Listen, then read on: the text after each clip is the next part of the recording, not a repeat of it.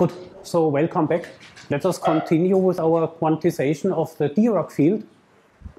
I have written here once again some highlights of the last lecture.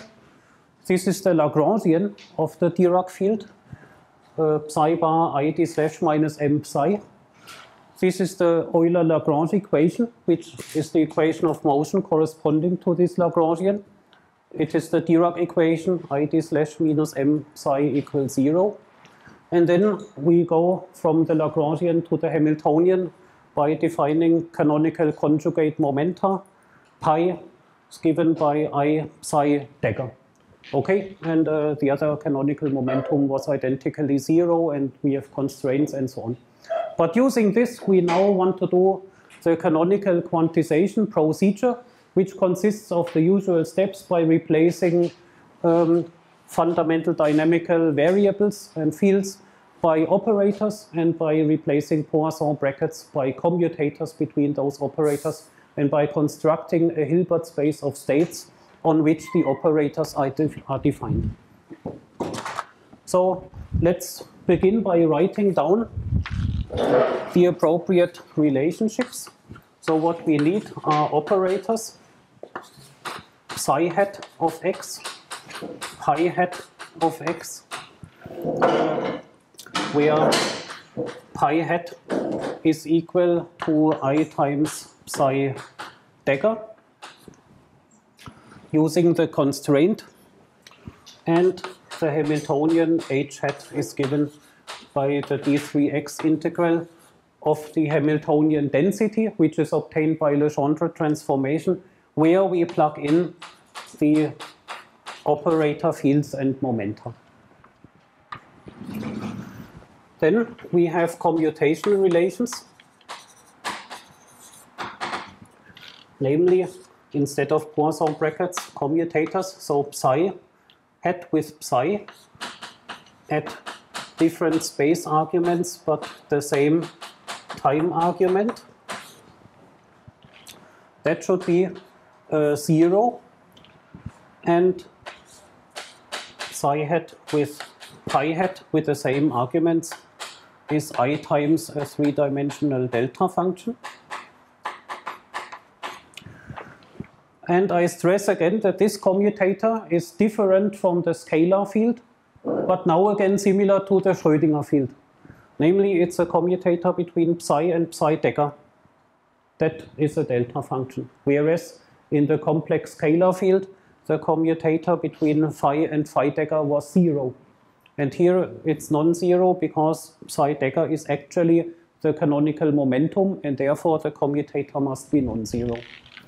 And finally we have the commutator pi hat with pi hat with the same arguments again and that is zero. Now, however, there is a small subtlety which we want to be explicit about, namely uh, this equation here has actually indices, right? Because the spinor is a spinor which is a four-component object, so it carries a spinor that's called the index alpha, which runs from 1 to 4. And also pi, psi dagger, is an object with a spinor index beta, which also runs from 1 to 4. And then we should be explicit uh, how does the commutator depend on those indices alpha and beta? And what we require is like in the Poisson bracket, Kronecker delta alpha beta here. So because literally the canonical momentum pi has an index alpha and pi alpha is defined by the derivative of the Lagrangian with respect to psi alpha with the same index. And then automatically for each psi alpha there is a canonical momentum uh, psi dagger alpha with the same index and for those equal indices we require a non-zero commutator and for different indices we require a zero commutator because they are just independent variables. And now there is a much more interesting second subtlety, which is not so subtle after all, but which is extremely important, uh, namely the question, should those objects here be fermions or bosons? This is a new question for us because we haven't discussed it in the semester so far. And so far we have always assumed that commutators are bosonic commutators with a minus. Okay, and we could uh, do that here as well, go through the usual steps and see what happens. But you already know what will happen, namely uh, we know that these uh, spinor fields with uh, spin one half, they are fermions. And so let us be careful and uh, open-minded, and therefore let's just uh, make here uh, plus or minus, plus or minus, plus or minus, which means that we are open-minded and we use here either commutators or anti-commutators at this point, and we follow the usual steps for both cases until we see which case is better or whether both cases are okay or whether we can make a decision which case is actually to be preferred. But for the moment, we simply allow both possibilities. And uh, this means, um, let's say, commutator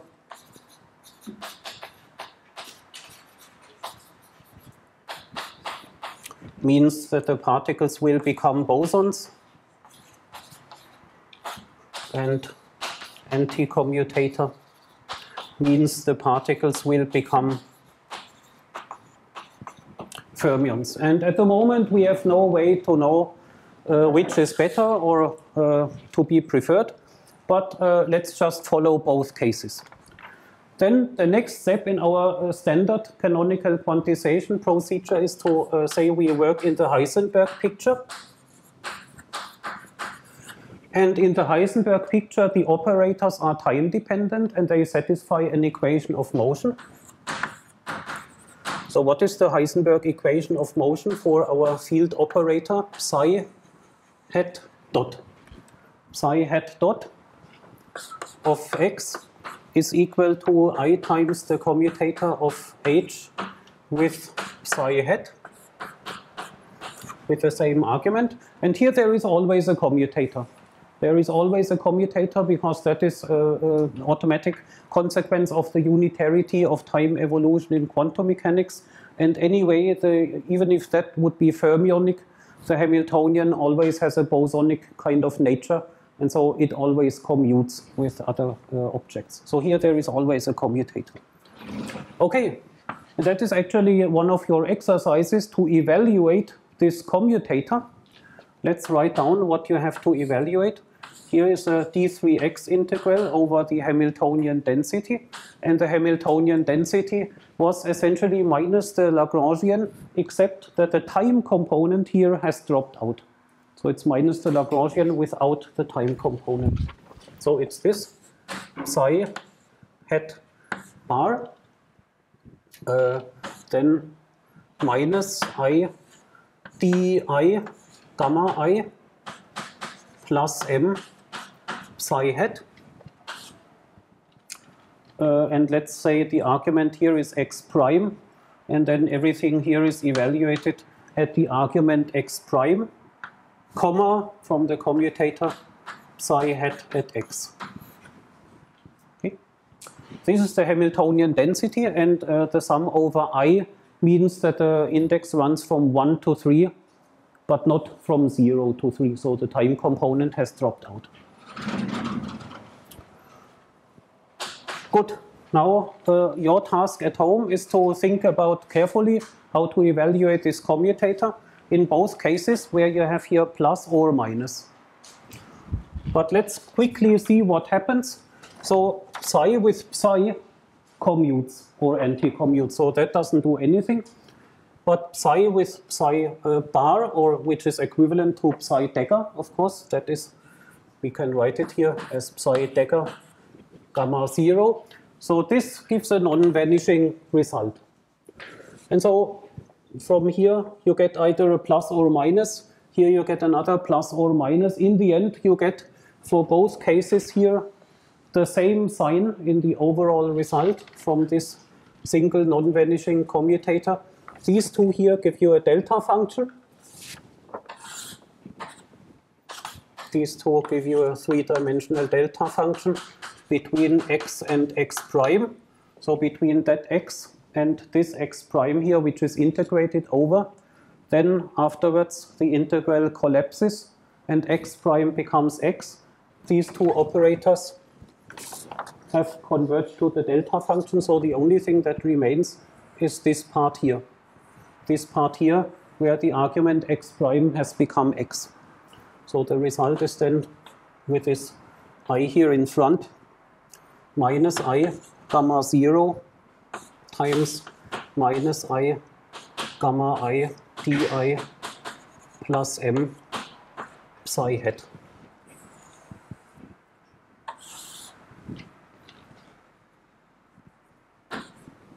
Okay, so this.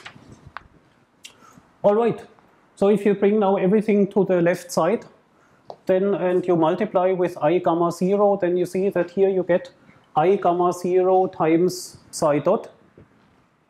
And here you get uh, i gamma i. So these two again just combine to the full d slash.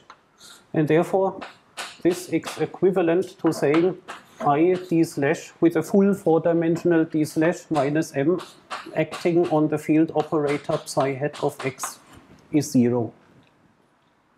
Yep. Um, don't we have another i from the delta function?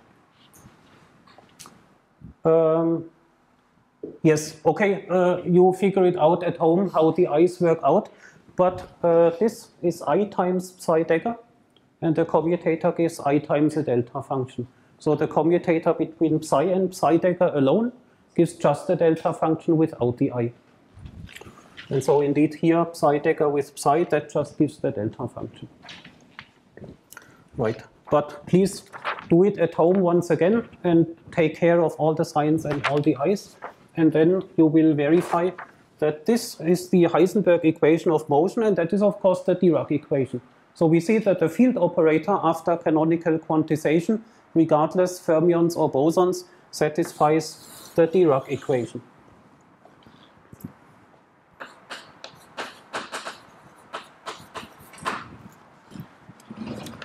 Then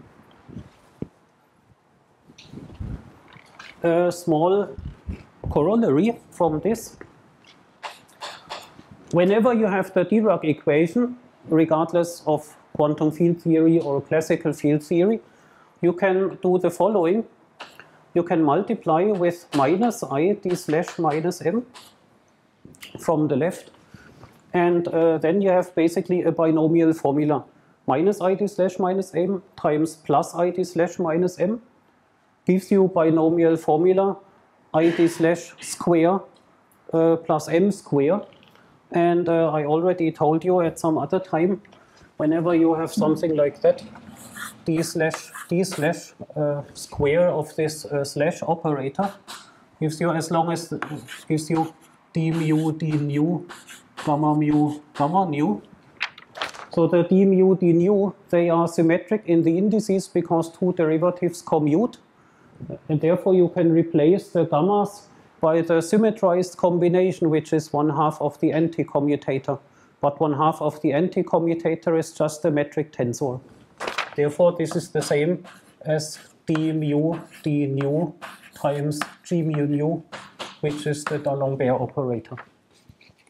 So this d slash square is equal to the D'Alembert operator. So the non-trivial gamma structure becomes just a unit matrix in spinor space.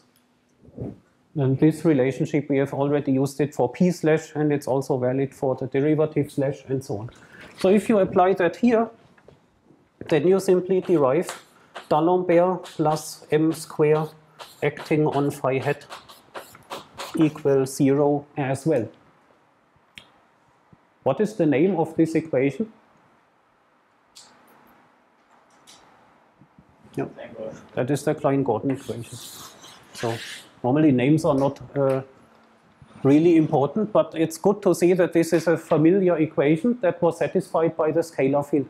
So the Dirac field satisfies the Dirac equation, but it simultaneously also always satisfies the Klein-Gordon equation. And we can also make use of that. So that holds as well.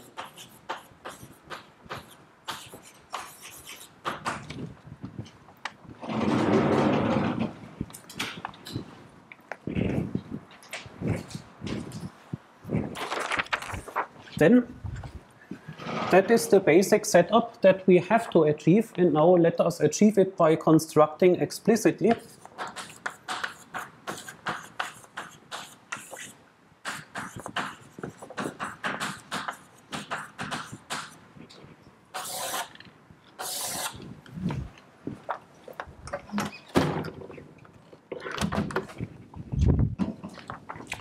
And so we have several things that we need to satisfy. We need to satisfy the Dirac equation, the commutation relations, and the Klein-Gordon equation.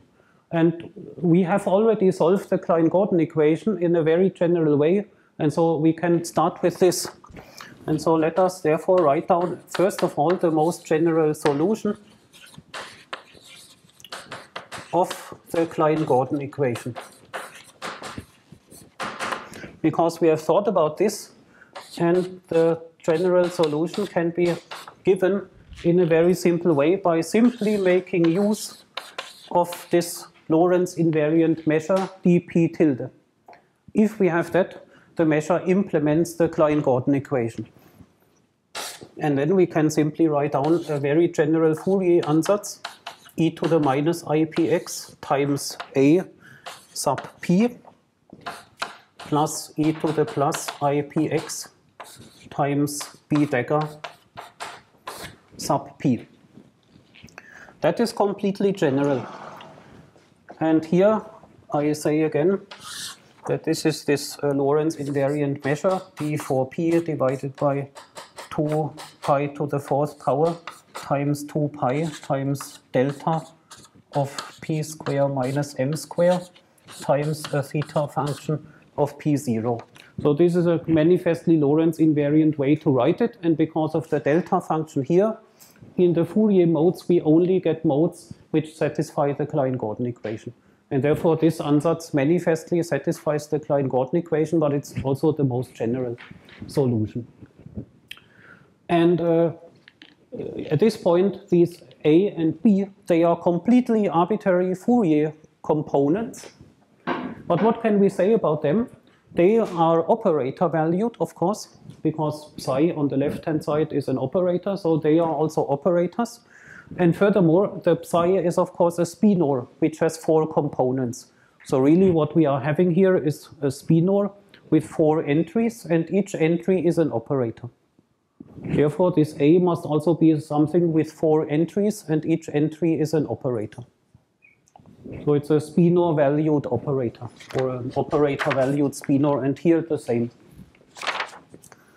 So these are four component operators. We don't know anything yet about the different components, but anyway, it has four components and each component is some operator which depends on p in an arbitrary way, and whatever we do, it will satisfy the Klein-Gordon equation. But now we turn to the next. We also need to satisfy the Dirac equation. So which subset of those solutions also satisfy the Dirac equation? Let's plug it in.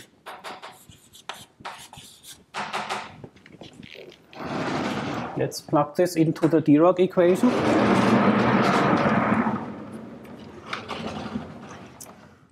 0 is equal, so exclamation mark means that it should be satisfied, i d slash minus m acting on psi hat of x.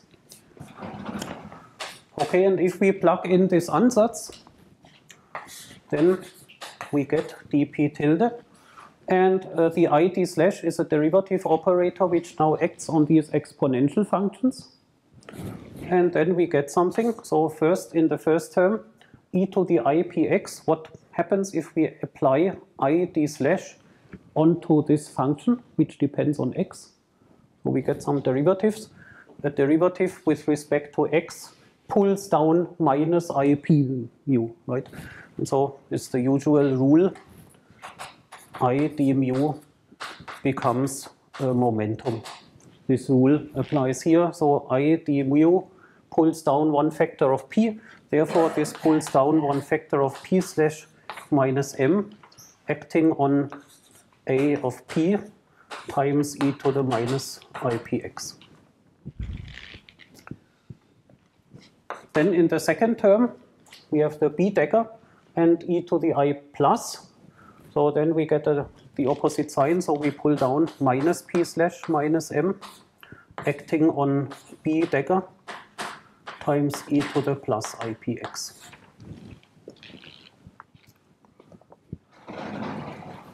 So this is uh, our result of applying the Dirac operator, and that should be zero. It's a Fourier integral. When is a Fourier integral zero? It is zero if all Fourier modes are zero individually. So that means this Fourier mode must be zero, that Fourier mode must be zero for all p. And so that means now this is a matrix equation. P slash is a 4 by 4 matrix. M is the unit matrix times M. So we have a matrix times this four component operator if zero. This is a, let's say, a numerical equation between four operators. So it's like four linear combinations of our four operators have to give zero. This is this sort of equation.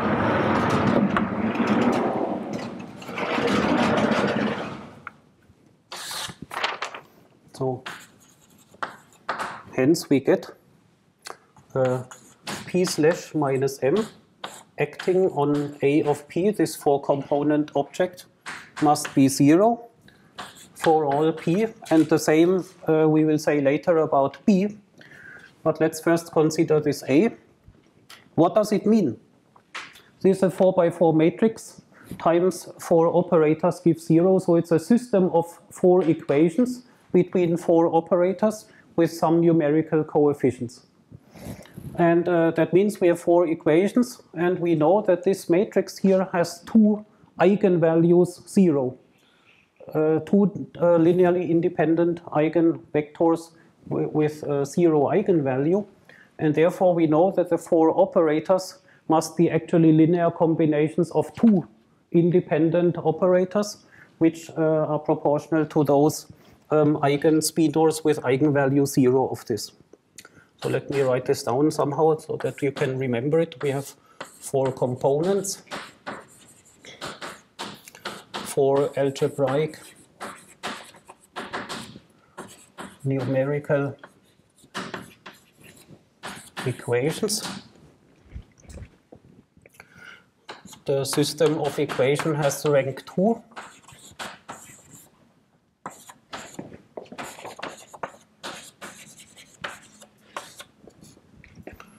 So we have two linearly independent solutions. And we already know on the numerical level what are the two uh, spinors which satisfy this equation. These are our u of p spinors. They satisfy this. And so we get, uh, using that knowledge, the most general ansatz for the operators is the following. This a of p must be uh, writable as one spinor u of plus p and plus one half times some operator a of p and plus one half plus u of uh, p minus one half times a of p and minus one half. Okay, so this is then a four component spinor a four component. Numerical. Numerical means the entries are numbers instead of operators. And this is one single operator.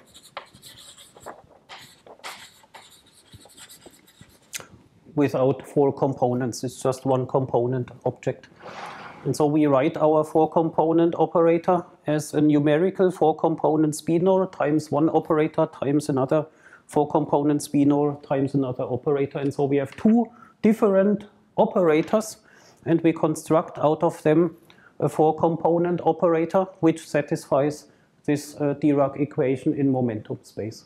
And so it's clearly the most general solution. And so we can write this compact as sum over S of u of p comma s times a of p comma s. So the important point is we have two operators uh, for each p, and the two operators may be labeled by a label s plus minus one half, where we do not yet uh, associate any meaning to this s plus minus one half, so it might mean spin, but we don't know that yet. But anyway, we have two, that is for sure.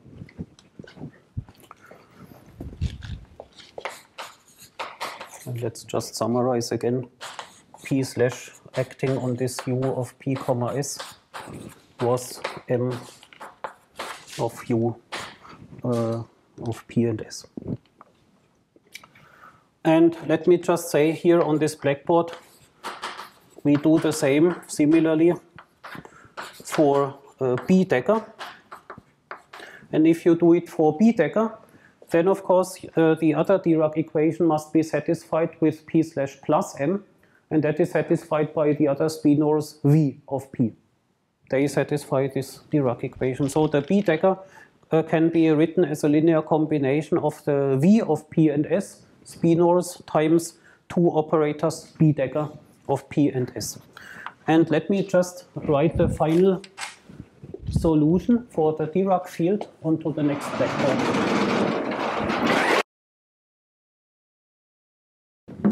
So using all these ingredients, we get our most general ansatz,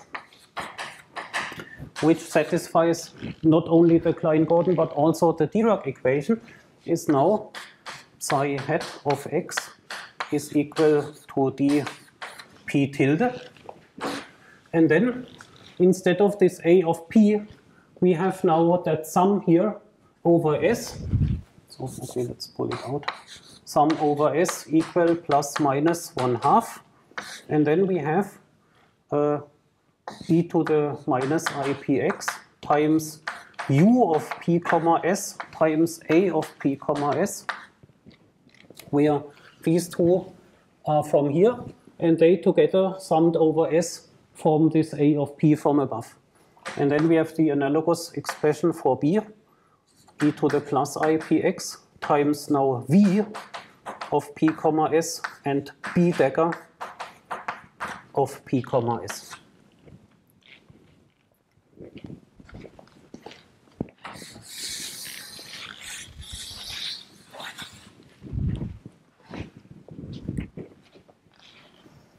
So again, p slash u equal m u, p slash v equal minus m v, c section, what was it? Uh, 2, 4, 1 probably from last time. Good. That is our ansatz that solves the Dirac equation and it depends on some so far unknown operators A of P comma S and B of P comma S. So one difference to the scalar field is already interesting, namely for each P, we do not have uh, one A, but we have two A's for the two different values of S. And for each uh, P, we also have two operators dagger of S.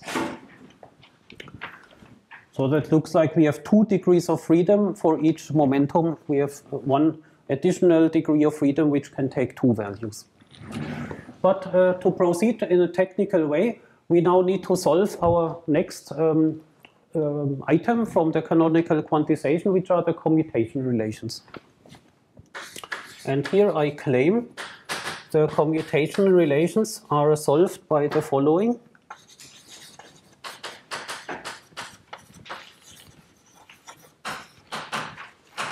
They are solved by the following ansatz, namely commutation relations between A's and B's. So what do we need? A of P comma S, commutator with A of P prime and S prime. So this commutation relation, and again I use the same plus minus as before, uh, that should be zero. And the same is true for the B's. B with the same argument always. B with B with the same arguments also gives 0. A with B gives 0 and A with B dagger also gives 0. So A and B, they are completely independent of each other. They totally commute, but now the interesting thing, A with A dagger,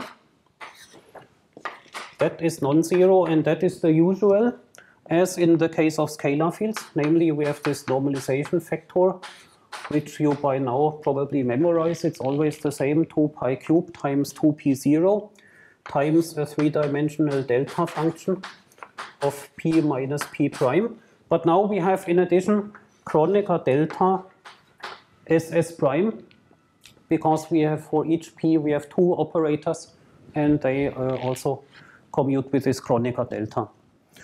And um, similarly for b, but not identically. And now that is partly your exercise to check this, because for the b's, it depends on the statistics. Uh, what you need for, uh, for, the b's in order that the psi and pi satisfy what they need to satisfy. What you need is p dagger with p That is the same. So it's the same. I just copy it.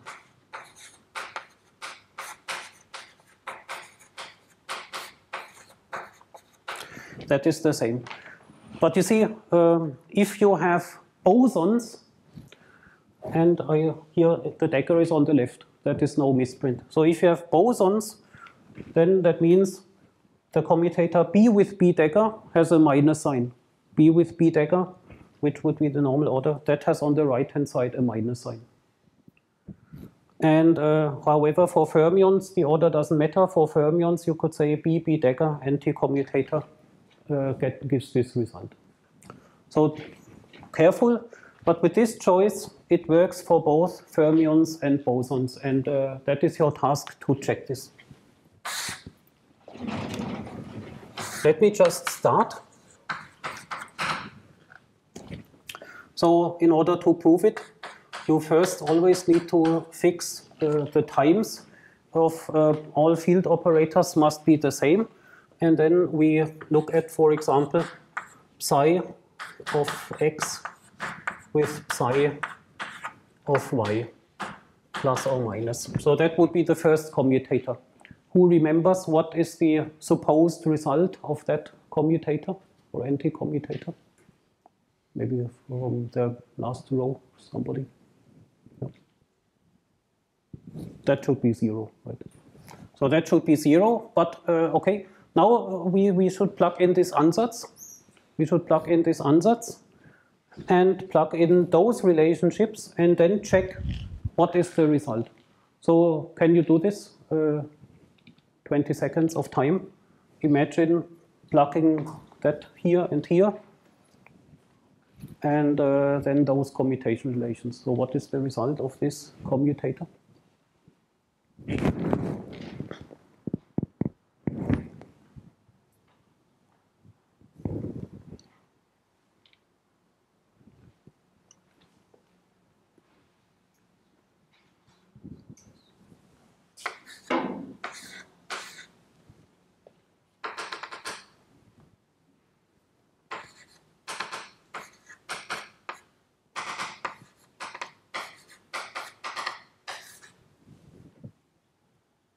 right? So superficially, that would be the structure.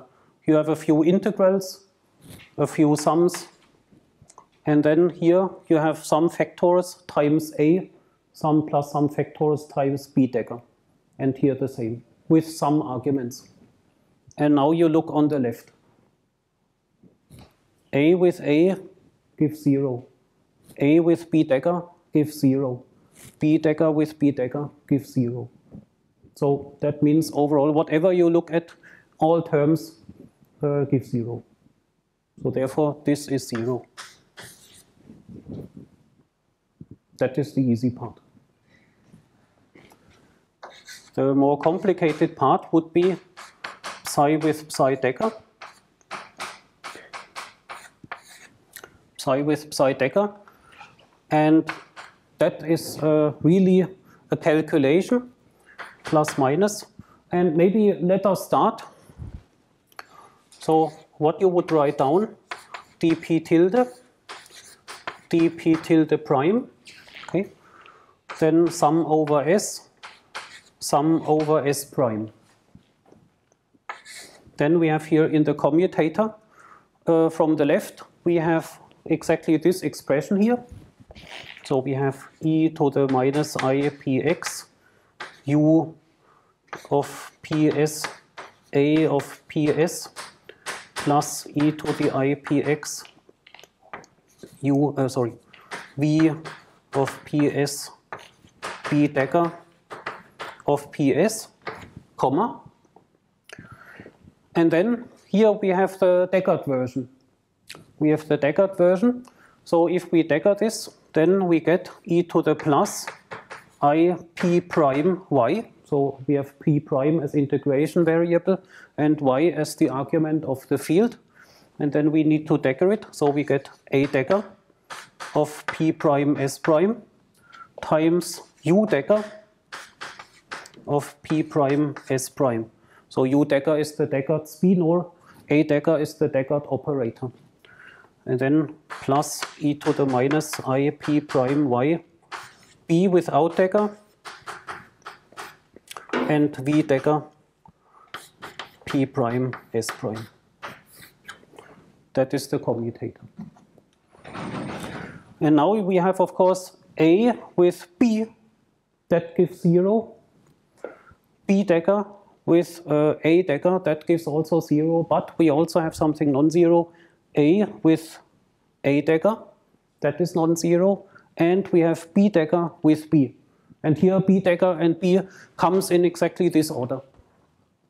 So no matter whether we have fermions or bosons, we always can apply the commutator in this order. So okay, and then we have all these integrals. And so dp tilde sum over s. And so should we go one more step or do you want to do it at home? So one more step, okay. So one more step. So we have first of all now, let's do a curly bracket. So we now uh, put the commutator gives four terms. Four terms because we have two times two terms. Two out of the four terms give zero and two other terms give non-zero. So let's consider the first non-zero term. The first non-zero term is the one, this commutator with that. So what is the result? So we have the two exponential functions, u and u dagger. these are just numbers, but here we have an operator a and a dagger. And the commutator of a with a dagger is written here, and it gives the usual thing with a delta function. So this commutator cancels exactly the p prime integral, and it cancels the sum over s prime. s prime becomes s, p prime becomes p. Okay, therefore we can write down the exponential function p and p prime, they are now equal. So we have e to the minus i p x minus y simply in the exponent. Then we have u, u dagger, and both have the argument ps. And that's it. That's it. That's the result of the first commutator. Or did I miss any factors? So next, next term, that with Z. Okay. So B dagger with B, that gives something non-trivial and it gives exactly the same. B dagger and B, they are already ordered in the way such that we can apply this commutator here without flipping signs or anything. So again, one integral is cancelled and the sum over S prime is cancelled. Afterwards, P and P prime, they are equal. So we get here the exponential function e to the i p x minus y from here and here. And then we have v, v dagger times uh, uh, with the argument p and s. That's it.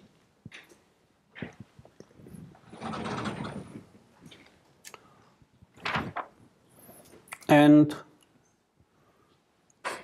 Okay, and then you can apply the sum over S e to the minus i p x minus y. So this sum UU dagger with some argument p comma s sum over s is this completeness relation and that gives just p slash plus m. That was what we wrote down the last time. This is a completeness relation that you can check, but here it's not UU bar but UU dagger, so we need to multiply from the right with gamma 0. And here again, the sum here over v v bar gives p slash minus m. So here we have plus e to the plus i p x minus y times p slash minus m times gamma 0.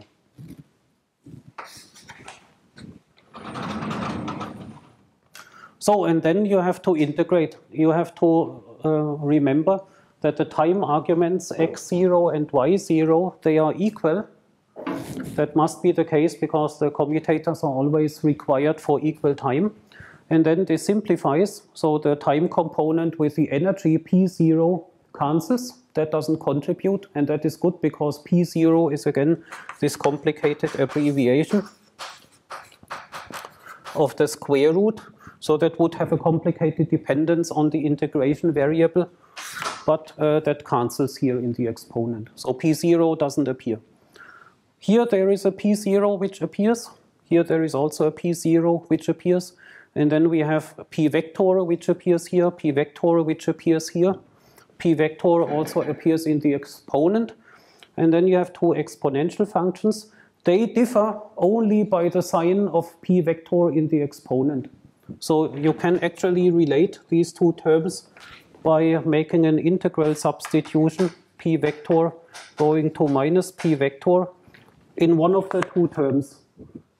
And then the exponentials become equal and uh, something drops out here.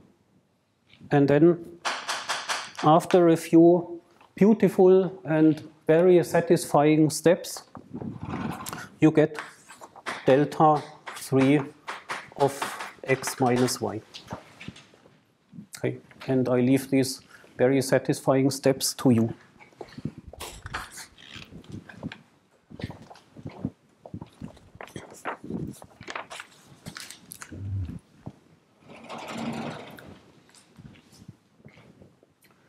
So, but here, uh, one thing is important, so go through it yourself.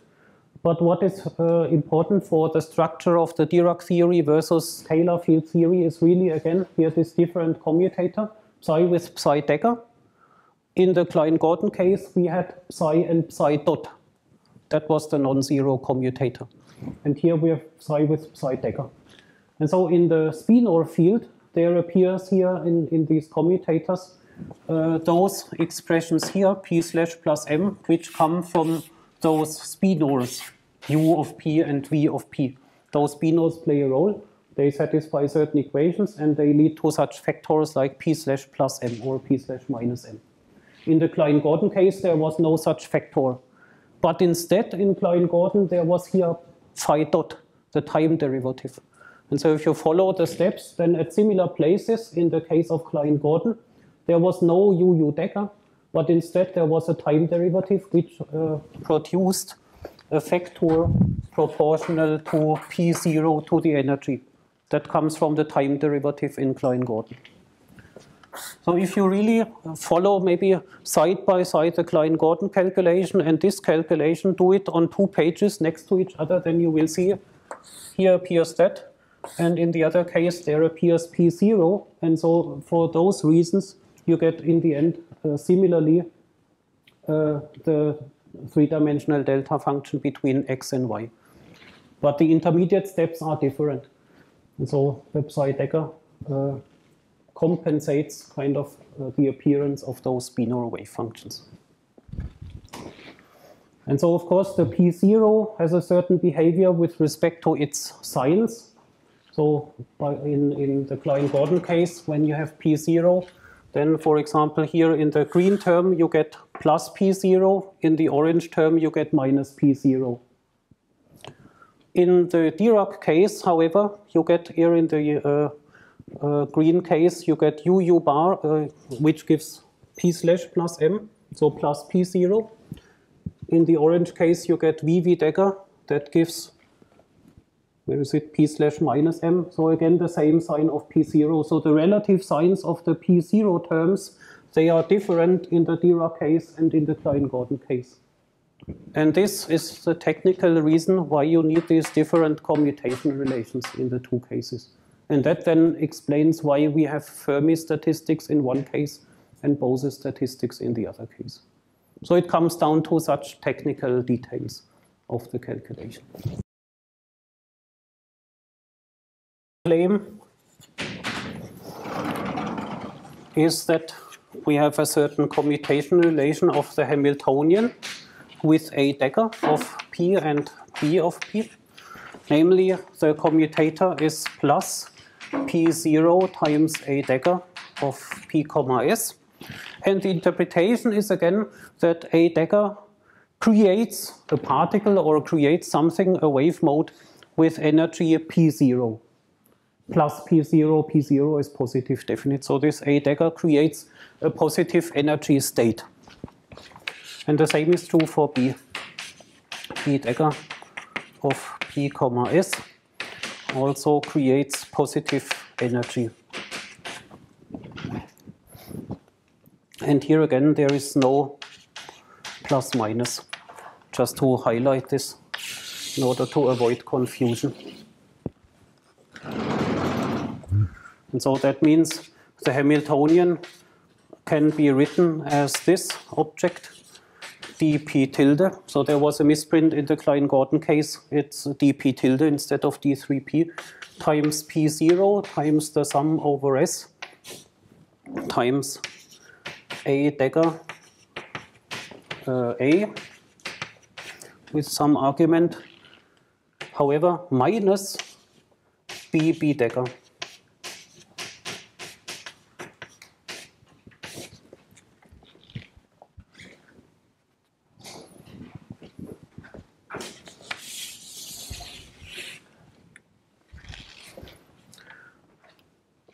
So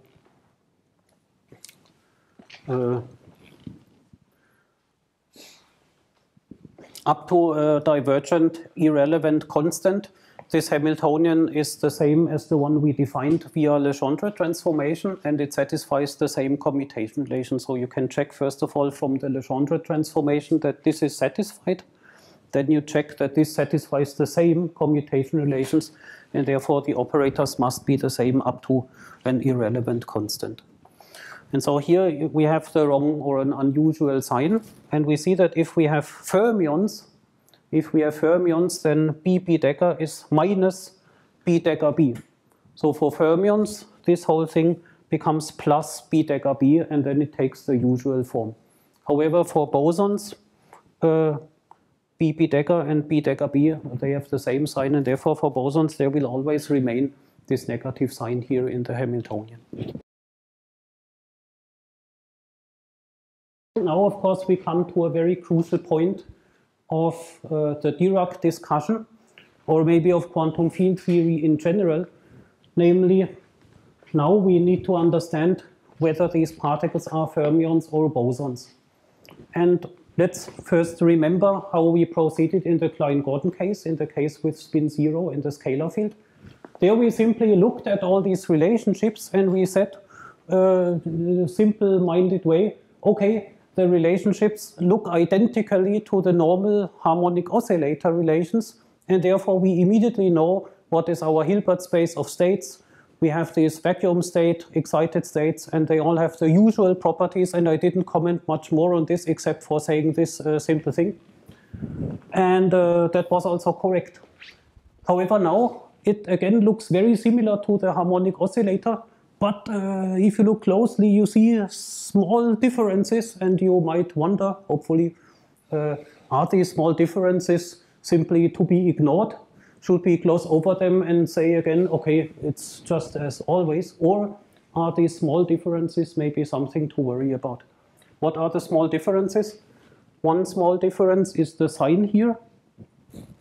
And another small difference was the sign in the commutation relation for B and B dagger.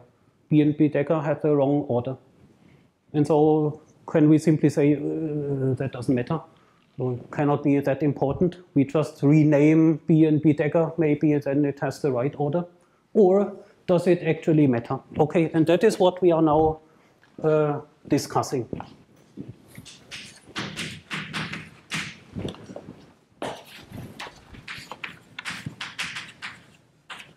Choice of fermionic or bosonic statistics.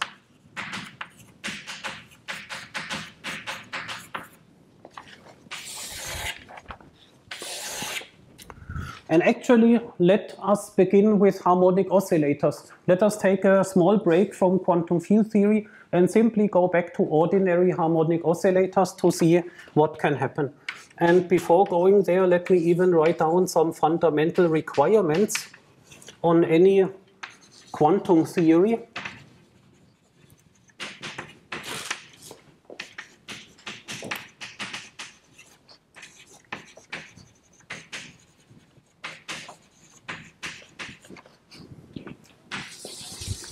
I stress here a physical quantum theory, which uh, should be interpreted um, uh, physically and which uh, has the chance of actually describing nature. So two requirements, namely the Hamiltonian should be bounded from below.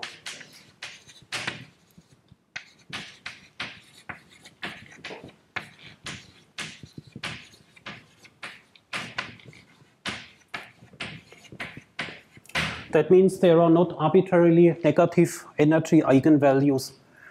Why this requirement? Because otherwise there is no stable ground state.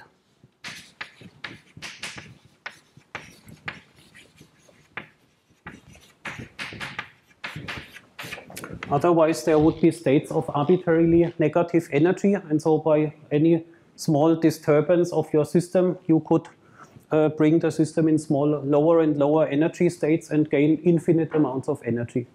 That is unphysical. At least it's not observed that this happens.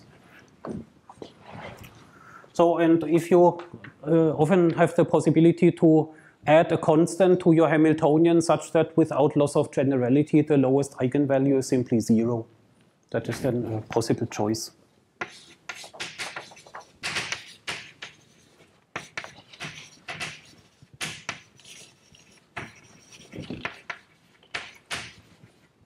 But you can only do that if uh, there exists an infimum of your eigenvalues. The second requirement, which is even more basic, and which you have never thought about maybe, is that the norm of states must be positive.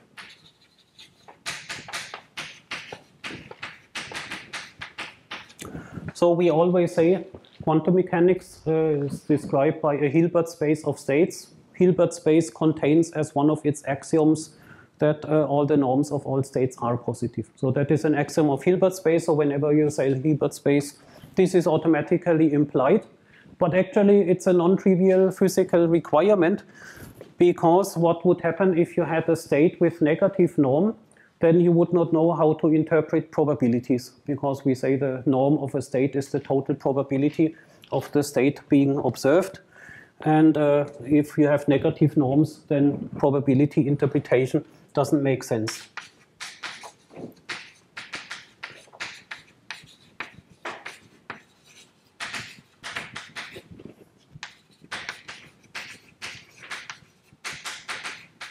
Let me actually add here norm of physical states.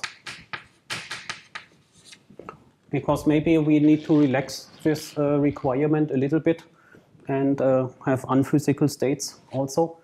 But at least for physical states which you can interpret experimentally, uh, the norm must be positive. And that is now the problem. When I stressed many times that we need to construct a Hilbert space of states on which the operators are defined. Then I had in mind that sometimes it is not possible to define operators which are defined actually on a Hilbert space where simultaneously both of these requirements are met. And that is what we will now see. Let us compare two types of simple harmonic oscillators.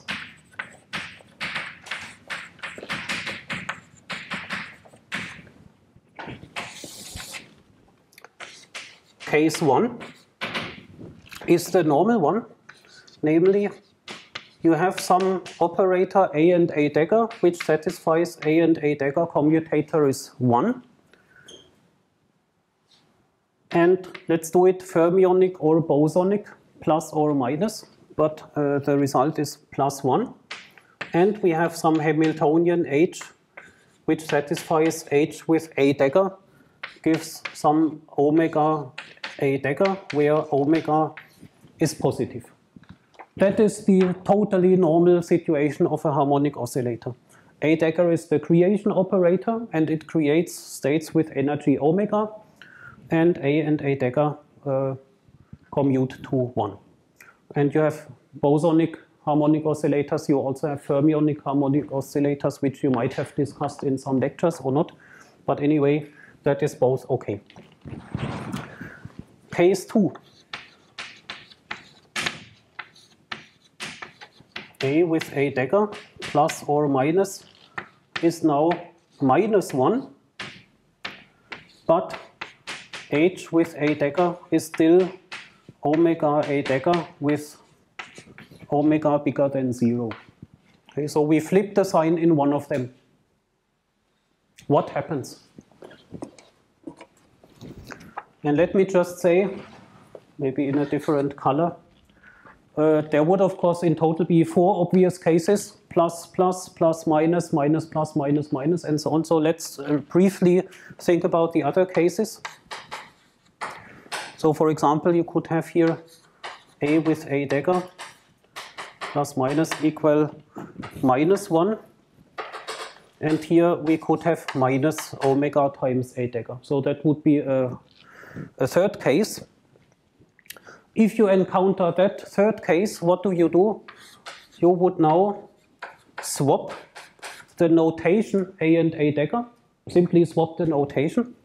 If you swap the notation of A and A dagger, then you have here A dagger A gives minus 1 and then you need to distinguish. If we are in the bosonic case, and we swap A with A dagger, then we get A dagger A minus is minus 1. So A with A dagger gives plus 1. And here, uh, if you swap A with A dagger, then you have here A decreases the energy and A dagger again increases the energy. So that is then the normal case, case 1. So for the bosonic case, this third case is equal to the first case.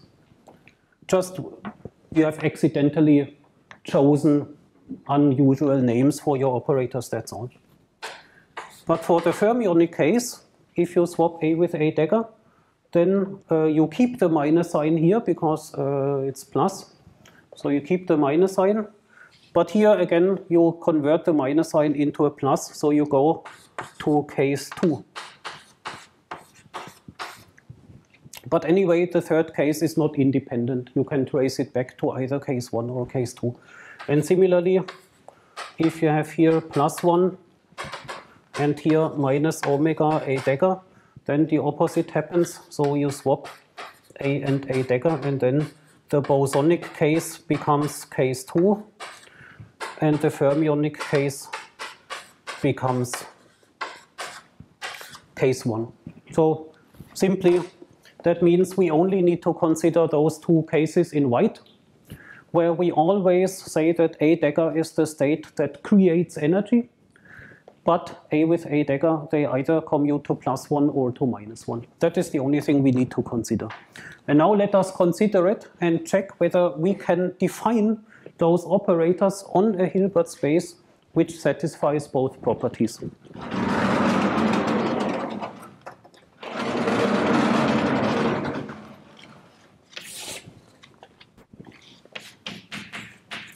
So for both cases, case 1 and 2, we now do essentially what I assume you must have done in ordinary quantum mechanics lectures when you discuss the Hamiltonian, because there you must go through the identical procedure. So we assume that there exists at least one energy eigenstate, let's call it E, which is not a null vector. and which is an energy eigenstate H E gives E times E. We assume that one energy eigenstate exists, and we also assume now that one of our two requirements is satisfied. Namely, what do we assume? We assume that uh, the Hamiltonian is bounded from below. All H eigenvalues are bigger or equal than some number. Let's call it Eg for ground state energy. And that must be bigger than minus infinity, so it's an actual number. Okay, so that is our starting assumption. Then what did you do in quantum mechanics? You start with this energy eigenstate and you hit on it with the uh, annihilation operator, A on E. That gives you some result. And if you construct your operators on the Hilbert space, then that result must be an element of your Hilbert space of states. So this is some well-defined state, E prime. What is the property of E prime?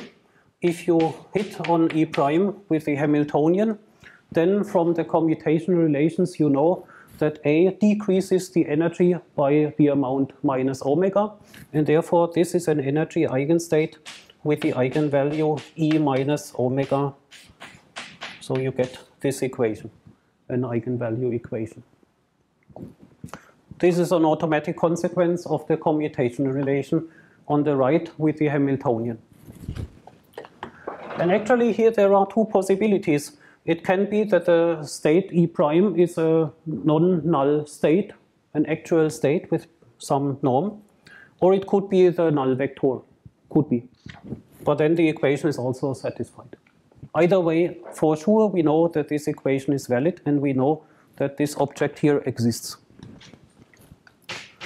But now you can repeat this procedure as many times as you want.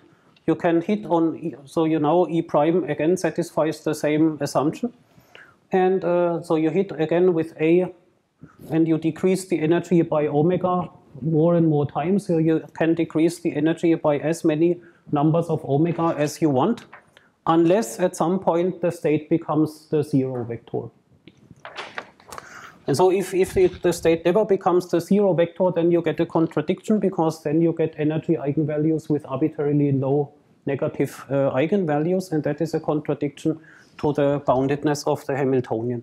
So therefore, it follows that there exists some number n0, element n, such that uh, a to the n0 times the state E gives the null vector in your Hilbert space, whereas a to the n minus 1 still gives you a non-vanishing state. There must be such an integer which has this property. So n is the first which annihilates the state and n0 minus 1 doesn't yet annihilate your state. Such an n must exist.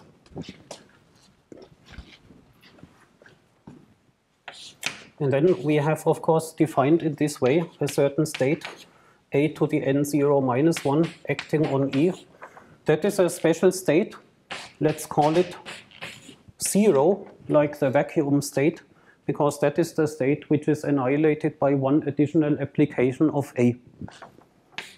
Just to highlight, this is not necessarily normalized,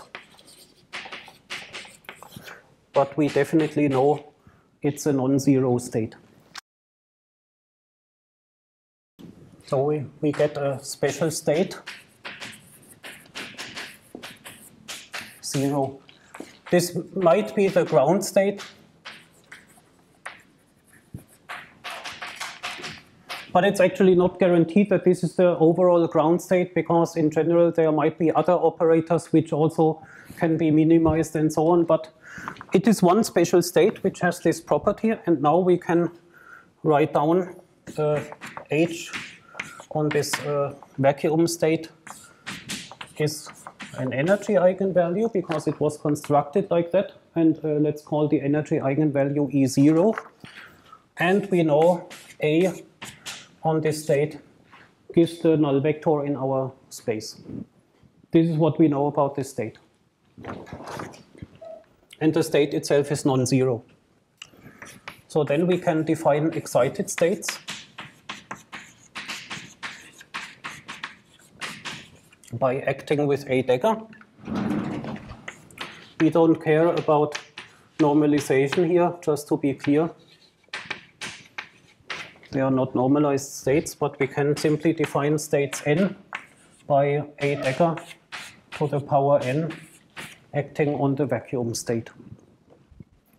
We can do that for all n. And we know that they are energy eigenstates with the eigenvalue E0 plus n times omega acting on n.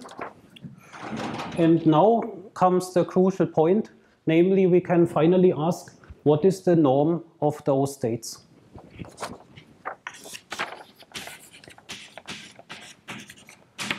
And the beautiful thing about quantum mechanics is that the norm is calculable. We can calculate what the norm is. It's not something that you can decide about the operator commutation relations fix the norm. And that is what we now see. And we only need to look at the first excited state, 1. And we simply take this scalar product 1 with itself. And uh, if the theory is reasonable, that must be positive. But let's see what comes out. So the state 1 is defined by acting uh, on the vacuum with A. So we get here a dagger A. That is our thing that we need to calculate. And now we can use our commutation relations, and that is the point. So A and A dagger. So, okay, I deleted how the commutation relations look like, but depending on fermions or bosons, this is plus or minus A dagger A, the opposite order, plus for bosons, minus for fermions, and then we have plus minus 1 depending on whether we have this case 1 or case 2. Now, so yeah, let's replace this by that. Then we have first of all, uh, let's do it case by case. Case 1. Case 1 uh, has the plus 1. What happens to this? When we insert A dagger A into the vacuum, what do we get?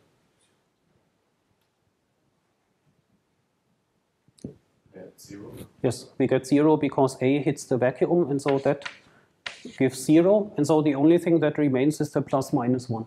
So therefore, in case one, the norm of our state 1, 1 is the same as the norm of our zero state. It's equal. 1, 1 equal 0, 0. But in case 2,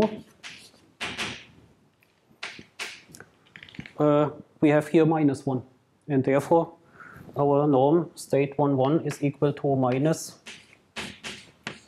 the norm of the state 0, 0. And so that shows you now that our Hilbert space of states is not a Hilbert space in the second case. It's a vector space with a scalar product, which is not positive definite because it contains one state. So we don't know what is this. But anyway, it cannot be that both states have positive norm. One of them must be negative, or both must be zero. But either way, this contradicts our Hilbert space postulate that all states which are not a null vector have positive norm. So that is a contradiction to Hilbert space axioms. And uh, then just to conclude, that is what you have done in the harmonic oscillator, I assume, because now you in the harmonic oscillator you only have this situation, and then you would say, okay, that means that our states n here all have positive norm, and you can now define your Hilbert space uh, by saying that this is a basis of your Hilbert space of states. Then you know on these states perfectly well how A acts, how A dagger acts, how the Hamiltonian acts. And therefore, you have completely constructed an infinite dimensional Hilbert space with a basis, and all the operators have a completely known behavior. And the operators satisfy the commutation relations which you have required. then you have fully constructed your theory and the theory is consistent. So that is case one. Can construct a basis of states with positive norm. All requirements are met. But in case 2, this is just not the case. In case 2, we did it in the way that we started from assuming that our postulate on the boundedness of the Hamiltonian is verified, and then we conclude that the states are not positive definite. You could do it in the opposite way, assume that the states are positive definite, then you will discover that the Hamiltonian is not bounded from below. So it goes in both directions, but anyway, here I say there are states with negative norm. That is a contradiction to our Hilbert space postulate, and it means we have not a consistent quantum theory.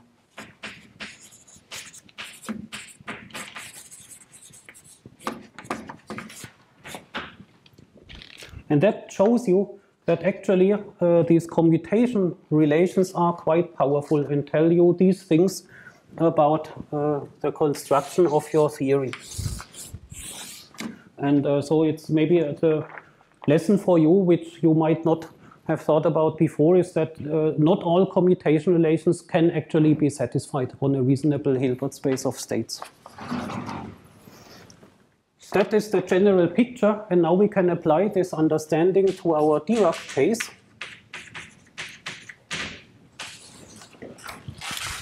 So in our Dirac case, we had the following.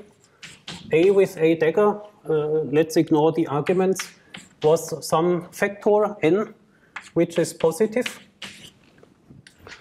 And uh, H with A dagger, that was P0 times A dagger where this P0 is also positive. So that means the A's, they always behave like this consistent case one. So for the A's, everything is okay.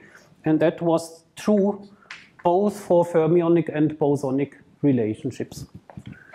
But in the B case, we have this B dagger B plus or minus is equal to n, where n is positive and h B dagger is P0 times B dagger with positive P0. So and here we had the wrong order. And uh, therefore, now uh, this is one of these orange cases. So for bosons, we get here the wrong sign. For bosons, we get the wrong sign because then we get here a minus. So we have here a minus, and that means we would be in our case 2. But for fermions, there is no problem. For fermions, we can flip the order. B dagger B, B B dagger has the same anti-commutator, and therefore we are in our case 1. So case 1 only for fermions.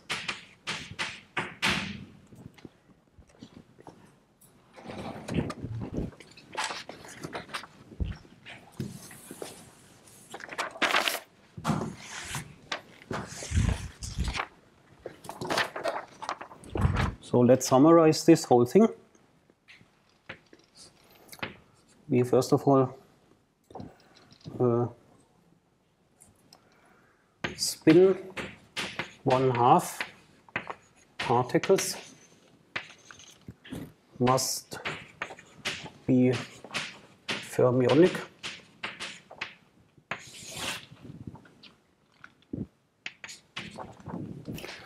And this whole thing is an example of a more general theorem, which is called spin statistics theorem. which is a fundamental quantum field theory, relativistic quantum field theory theorem, which always tells you that integer spin requires bosonic statistics whereas half integer spin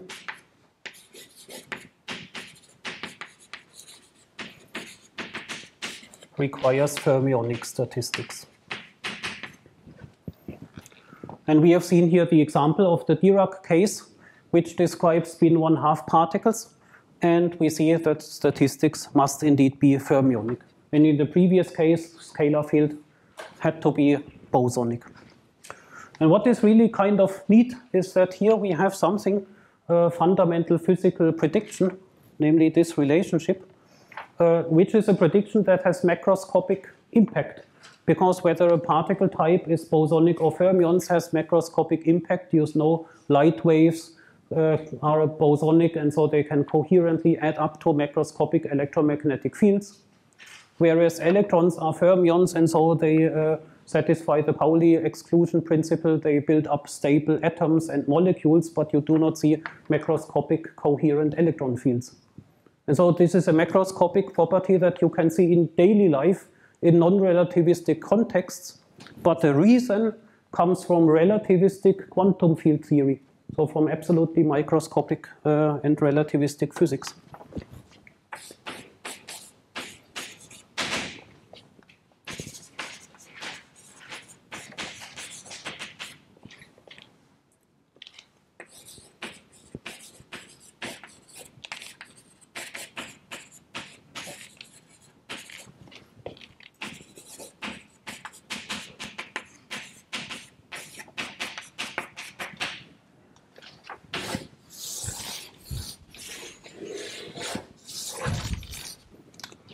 All right.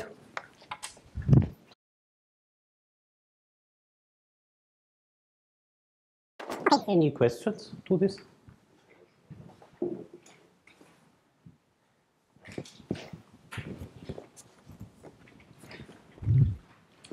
So this is one of the important fundamental quantum field theory results.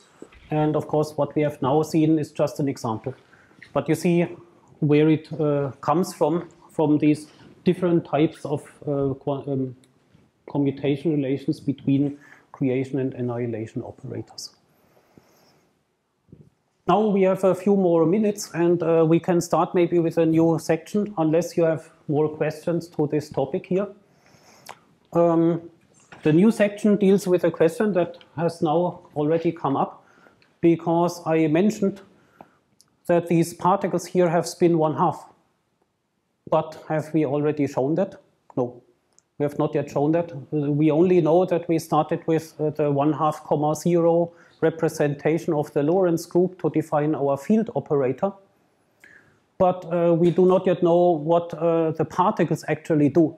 And you remember this uh, mismatch between the representations of fields and the, mis uh, and the representations on the level of particle states. And so we should now really investigate what are the Lorentz transformation properties of those particle states created by our new A and B dagger operators. In particular, we should then again go to the rest frame and uh, check what is the angular momentum of those particles at rest to see what is their spin. And for that, we of course need to construct the angular momentum operator. And that is our next step. We did the same thing for the Klein-Gordon field as well.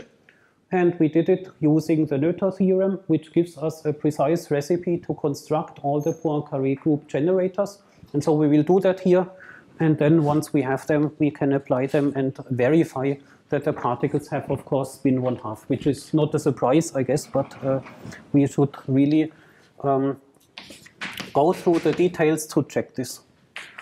So P mu and J mu nu.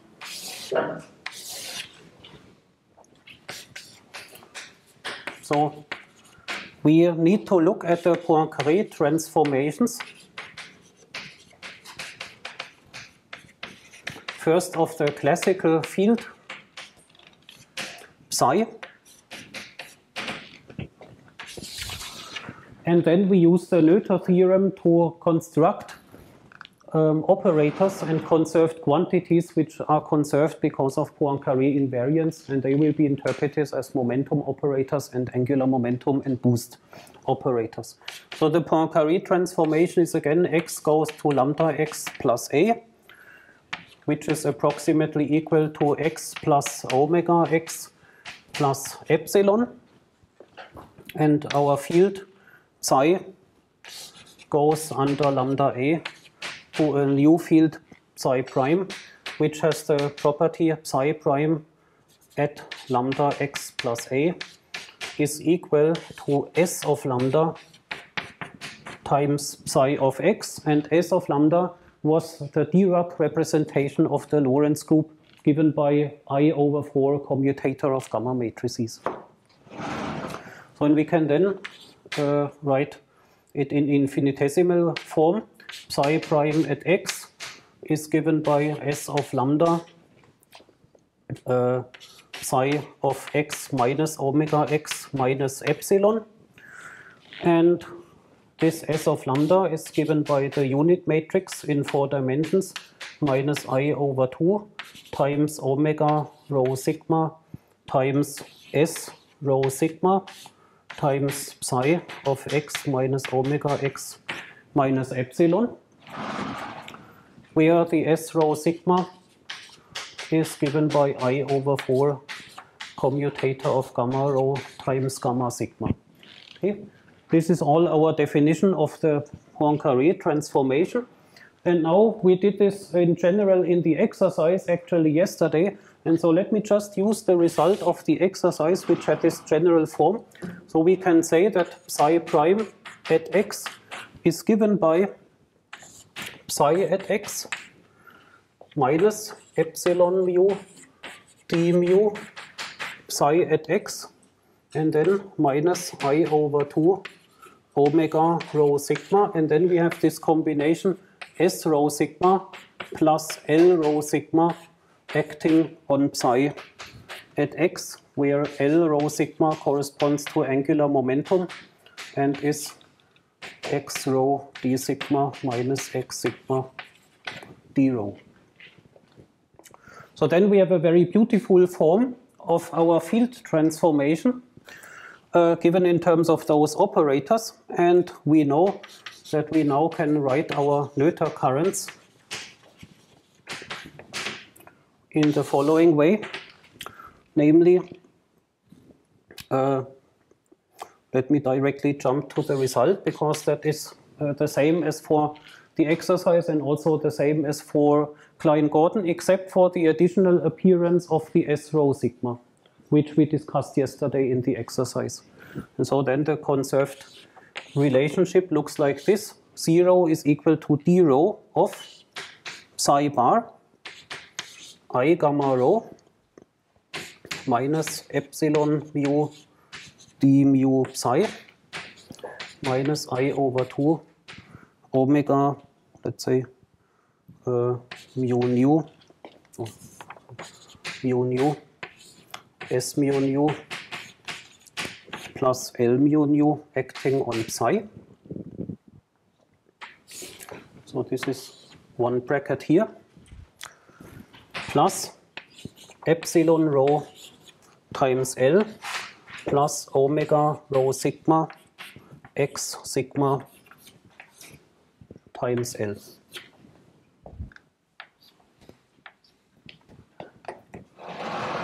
So this is our conservation law. And that is the same as yesterday in the exercise. And now we can read off coefficients in front of epsilon and in front of omega to obtain concrete conserved currents which either correspond to translational invariance or to um, Lorentz invariance. And so let, uh, and then I think this will be the last thing we do.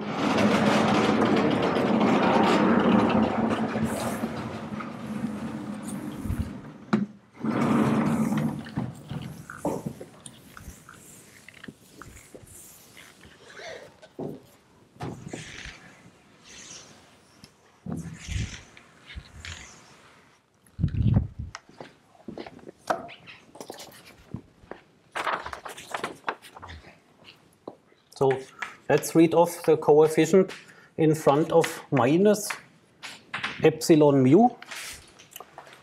That gives us the current for translational invariance P rho mu. And I will just copy it from here. Psi bar i gamma rho d mu psi minus g rho mu times L. And that would be a definition of our energy momentum tensor. And the zero component of this integrated over x gives us the momentum operator. Then similarly, we can obtain the coefficient of 1 half omega mu nu. That gives us a current m rho mu nu is equal to psi bar gamma rho S mu nu plus L mu nu psi plus G rho mu x nu minus G rho nu x mu times L. And so this is literally copied from our exercise yesterday, but of course you can derive it once again uh, in the same way as we did it yesterday by going through the standard steps and uh, simply expanding the field and uh, plugging into the Noether formula, and then we obtain these results. And so uh, here we will stop today. But clearly, here we have two expressions which will be the basis of our momentum operator and our angular momentum and boost operator the next time. If we go to the quantum theory, the fields are replaced by operators, and then we have well-defined commutation relations of all these objects, and we can check that the Poincaré representation is satisfied and so on, and then we can apply them onto states and obtain the desired result. Okay, but at this point we first of all stop. So we have reached the nice status of our discussion of the Dirac field. Thanks and have a nice weekend.